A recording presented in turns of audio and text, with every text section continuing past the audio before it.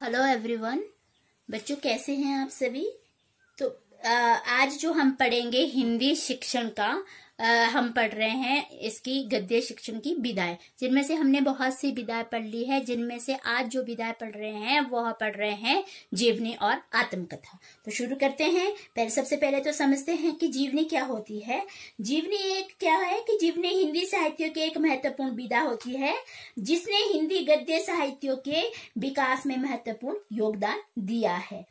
और सांस्कृतिक साहित्य में जीवन के लिए जीवन चरित्र मध्य युगी युग में, चरित्र तथा अंग्रेज़ी में इसको बायोग्राफी का प्रयोग हुआ है।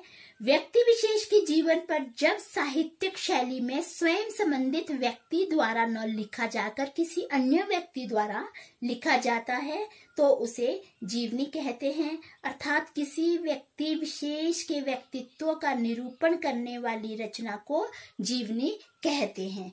और यहाँ पे आ, जीवनी साहित्य में एक स्वतंत्र विद्या के रूप में अपने चरित्र नायक के अंतर और बाह्य उसके जीवन संबंधी घटनाओं, परिस्थितियों, व्यक्तित्व, व्यक्तियों का, उसके गुण, दोष का, महान व्यक्तियों बनने में, उसके जीवन को विकास गति तथा, विकास गति का तथा उसके जीवन के प्रभाव का कलात्मक, रोचक, सजीव तटस्थ चित्रण यहाँ पे होता है।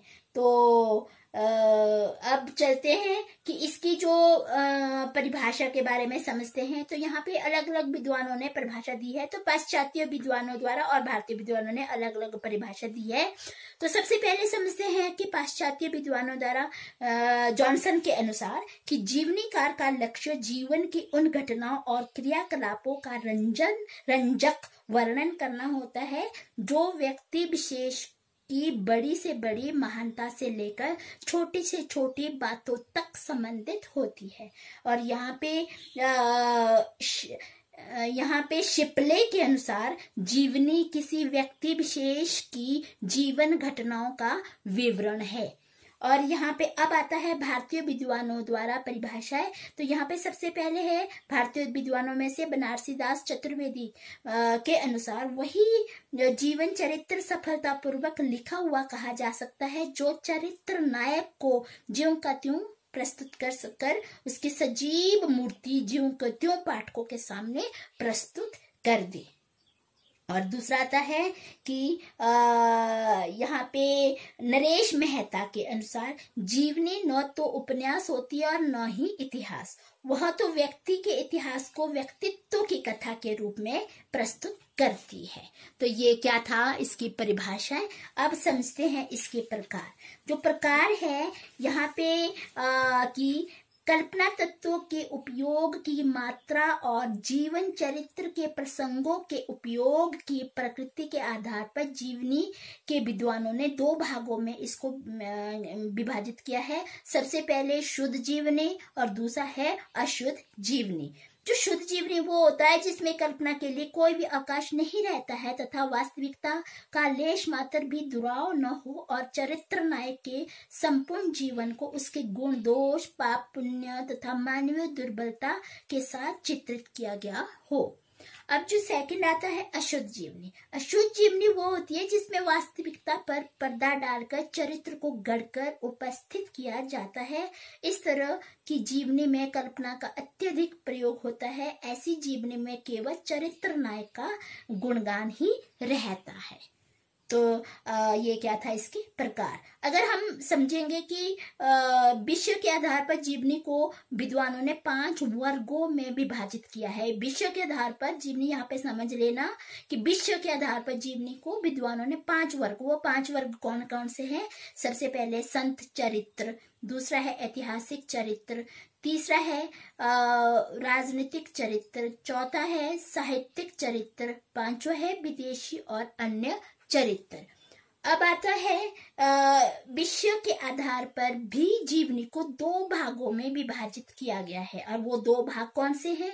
प्रबंधात्मक जीवनी और निबंधात्मक जीवनी। तो ये क्या थे इसके? प्रकार भी समझ लिए हैं हमने।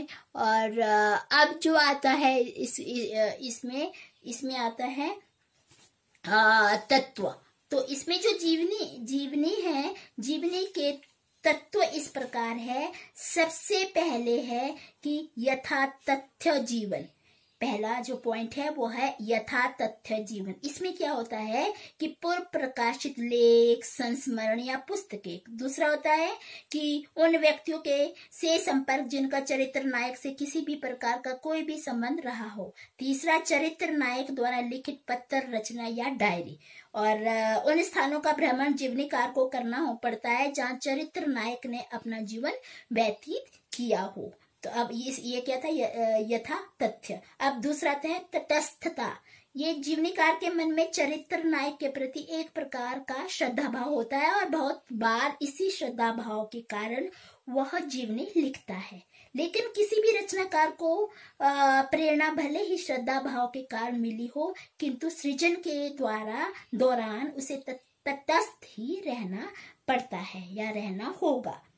और इसके लिए आवश्यक होता है कि वो अपने चरित्र, नायक की अच्छाइयों को ज़रूरत से ज़्यादा चित्रित न करे और न ही उसकी बुराइयों पर पर्दा डाले। तीसरा होता परिवेश।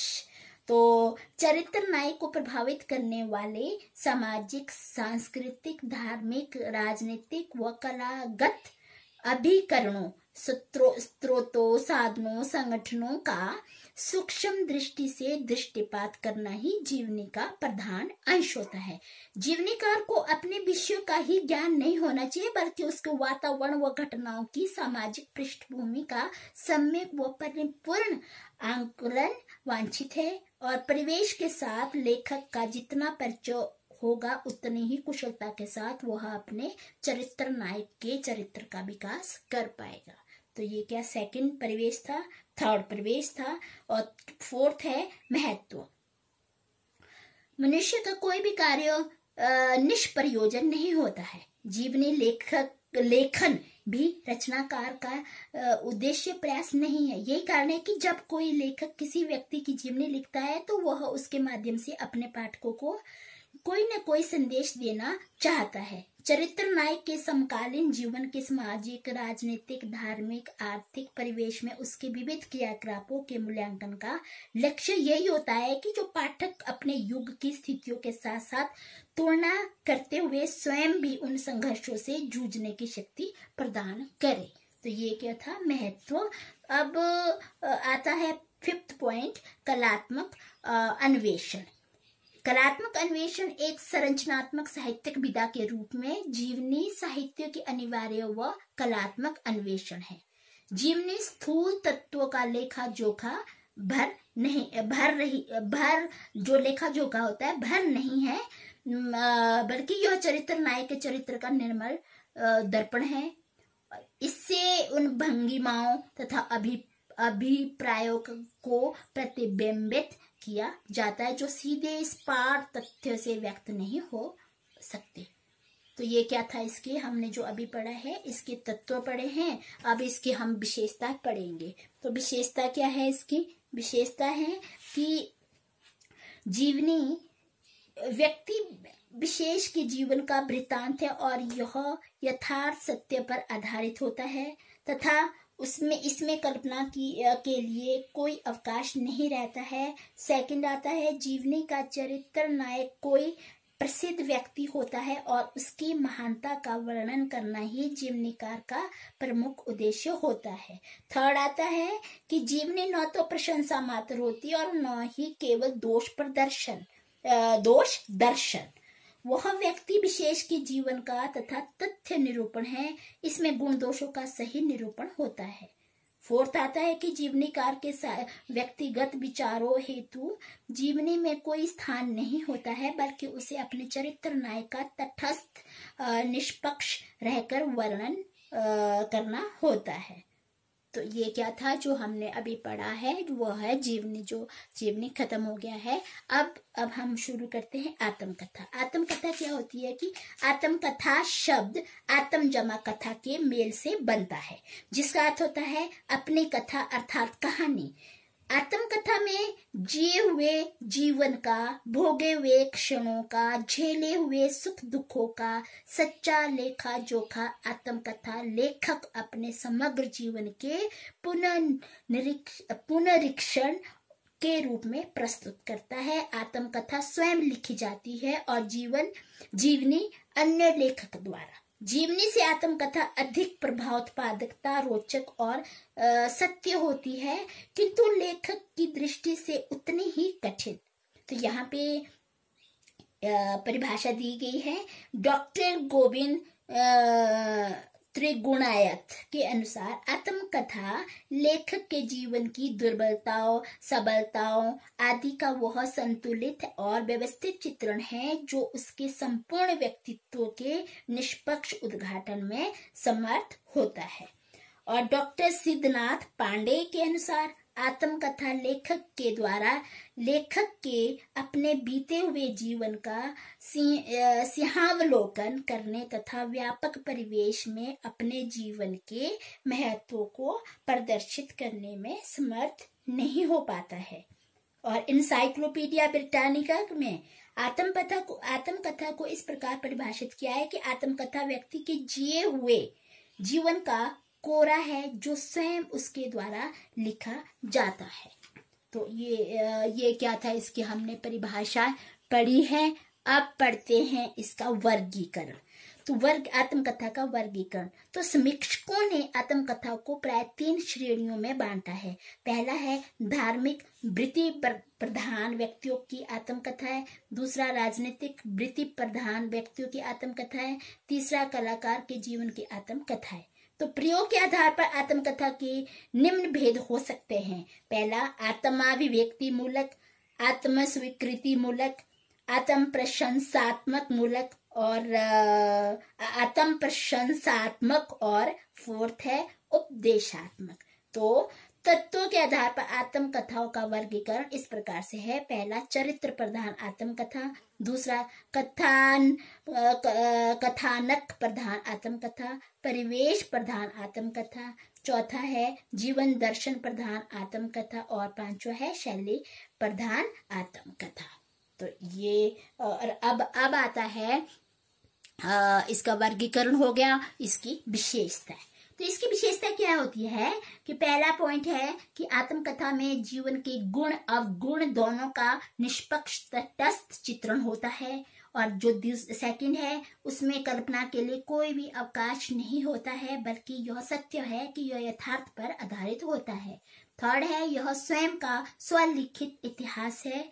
फोर्थ है, आत्मकथा में आत्मत्व की अभिव्यक्ति में तटस्थ अत्यंत आवश्यक है। और पांचवा है, इसमें मैं शैली का प्रयोग होता है। और सिक्स है, मैं लेखक, इसमें लेखक, अतीत व वर्तमान दोनों का चित्रण कर सकता है। तो ये क्या था? ये इसका आपने अभी समझा, आत्मकथा और जीवनी के बारे में आपने समझा है। अब जो समझेंगे, आत्मकथा जीवनी में अंतर। तो अब हम दोनों में अंतर समझेंगे कि अगर कई बार एग्ज़ाम में इस तरह से क्वेश्चन आ जाता है कि आत्मकथा और जीवनी में अंतर बताइए। तो सबसे पहला पॉइंट है कि आत्मकथा आत्मकथ्य होता है।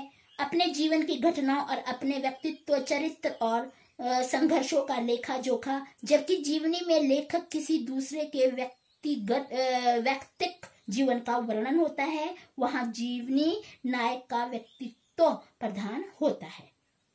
सेकंड आत्मकथा का विस्तार भी जीवनी की तरह व्यापक विस्तृत होता है। थर्ड आता है कि आत्मकथा और जीवनी दोनों ही विदाएँ विदाओं हेतु तटस्थता ईमानदारी तथा अनेक गुणों का होना अत्यंत आवश्यक होता है। फोर्थ पॉइंट आता है कि आत्मकथा और जीवनी दोनों का ही संबंध किसी सुविख्यात महापुरुष के जीवन से होता है। फिफ्थ पॉइंट कि आत्मकथा स्वयं लिखी जाती है, जबकि जीवनी दूसरे के द्वारा लिखी जाती है। सिक्स आता है, जीवनी में किसी भी व्यक्ति विशेष के जीवन की घटनाओं का यथार्थ पर चित्रण होता है, जबकि आत्मकथा भी सत्य यथार्थ पर आधारित होता है, अर्थात दोनों में कल्पना के लिए अवकाश नहीं है। अब आता है नेक्स्ट पॉइंट आता है कि आत्मकथा किसी भी व्यक्ति का आत्मकथा जो होती है आत्मकथा किसी भी किसी की भी हो सकती है जबकि जीवनी सुविख्यात व्यक्ति की हो ही लिखी जाती है। तो जो आत्मकथा होता है कोई भी को, किसी भी व्यक्ति की हो सकती है और जो जीवनी होती है वो सुविख्यात व्यक्ति की ही लिखी जाती है। एट आता है कि आत्मकथा और जीवनी में उद्देश्य विषय अंतर है कि श्री अजीत कुमार का यहाँ पे कहना है कि आत्मकथा साहित्य का उद्देश्य होता है आत्म निर्माण, आत्म परीक्षण या आत्म समर्थन। अतीत की समृद्धियों को पुनर्जीवित करने का मोह या जटिल विश्व के उलझाव में अपने आप को अन्वेषित करने का सात्विक प्रयास। एक दूसरा उद्देश्य यह भी है कि लेखक के अनुभव का लाभ अन्य लोग उठा सके, साथ ही कलात्मक अभिव्यक्ति, पद, मर्यादा तथा ख्याति में लाभ उठाने की शुद्ध व्यवसायिक इच्छा भी उसके सृजनोद्देश्य हो सकता है। और वहीं पे दूसरी और जीवनी जो होती है, लेखक का उद्देश्य होता है कि संबद्ध संबद्ध व्यक्ति के प्रति श्रद्धा, आदर, भाव, स्वभाव का, संबंधों का प्रत्यक्षीकरण तथा चरित्र नायक के जीवन, विचार आदि का प्रचार प्रसार आदि। अब आता है नाइन पॉइंट आता है कि आत्म कथाकार को जितना अपने विषय में ज्ञान होता है, उतना जीवनीकार को अपने चरित्र नायक के विषय में नहीं होता है। आता है जीवन जीवन के गुण दोषों को जितना उजागर जीवनीकार कर सकता है उतना आत्मकथाकार नहीं कर सकता है। और आत्मकथा में तो स्वयं अपने जिए भोगे जीवन यथार्थ का अंकन करना होता है। तो आ, मैंने इसमें अंतर भी आपको समझा दिया है। आशा करती हूँ कि आपको इसको समझ आ गया होगा। Thank you.